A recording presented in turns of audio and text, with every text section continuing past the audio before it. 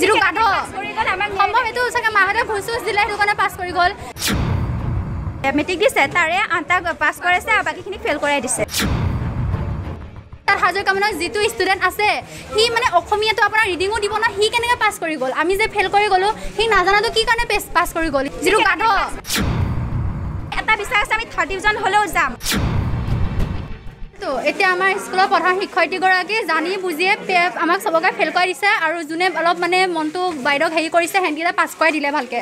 আৰু ৰিচাৰ্ড হাজৰিকামানত যিটো ষ্টুডেণ্ট আছে সি মানে অসমীয়াটো আপোনাৰ ৰিডিঙো দিব ন সি কেনেকৈ পাছ কৰি গ'ল? আমি যে ফেইল কৰি গ'লোঁ সি নাজানাটো কি কাৰণে পেছ কৰি গ'ল সি?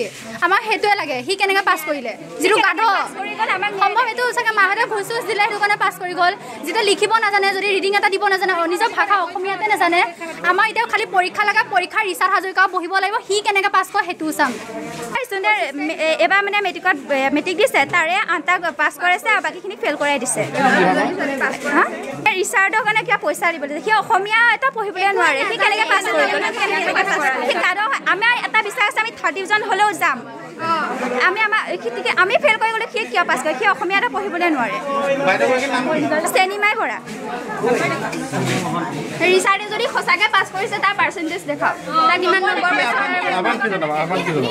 আমাক ন্যায় লাগে। আমাক ন্যায় থাকে আমাক ন্যায় থাকে ন্যায় বিচাৰ। আমিতো পৰীক্ষা দিবৰ কাৰণে চব সাজু হৈ আছিলোঁ। যে ভালকৈ আমি প্ৰিপেয়াৰ কৰিছোঁ যে আমি ভাল ৰিজাল্ট এটা কৰিম যিয়ে নহওক। কিন্তু বাইদেউহঁতে এইটো কাম কিয় কৰিলে? কম নম্বৰ দি দি আমাক এইটো এবাৰ ৰখাই দিলে। আমিতো বহুতেই চেষ্টা কৰিছোঁ যে ভাল ৰিজাল্ট কৰিম। আগৰ নম্বৰখিনিৰ ওপৰত ডিপেণ্ড কৰিছে। আগতে আমি অলপ বেয়াওতো থাকিব পাৰোঁ যে এতিয়া ভাল হৈছোঁ। সেইটো নহয় আমাক এইটো কাম কি কাৰণে কৰিলে? আমাৰ কনফিডেঞ্চ আছিলে যে আমি পাছ কৰিম বুলি কিন্তু আমাক পাছ কৰাই নিদিলে কিন্তু এই ৰিচাৰ্ড নামৰ ল'ৰাটোৱে যিটোৱে একো ভালকৈ অসমীয়া শব্দটোৱে ক'বলৈ নাজানে ভালকৈ ৰিডিং দিবলৈ নাজানে তাক পাছ কৰাই দিছে এতিয়া মুঠতে তাক কেনেকৈ পাছ কৰাইছে আমাক সেইটো লাগে আৰু আমাক ন্যায় লাগে সি ক্লাছ নাইনত নাম লগাইছে পৰা সি পাছ কৰা মাৰ্ক তেনেকৈ পোৱাই নাই সি ফেইলে কৰি গৈছে তাৰ হেৰিও চাব পাৰে নম্বৰখিনি